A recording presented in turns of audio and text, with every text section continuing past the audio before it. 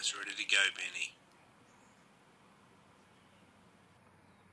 Try not to look at it. Do not touch it. and we're on in five, four, three, two.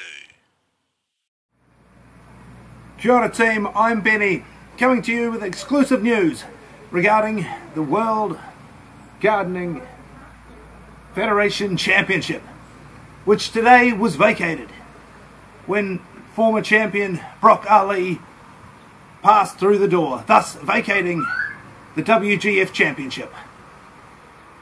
What this holds for the future, we do not know. But rest assured, we will keep you posted as things develop. But let's just be clear the World Gardening Federation Championship has been vacated.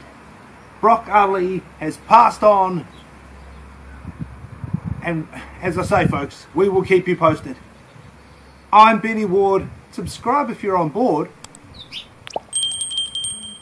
But rest assured, the only way to grow is to leave a like and a comment down below. Enough about me. The WGF Championship has been vacated and we will keep you posted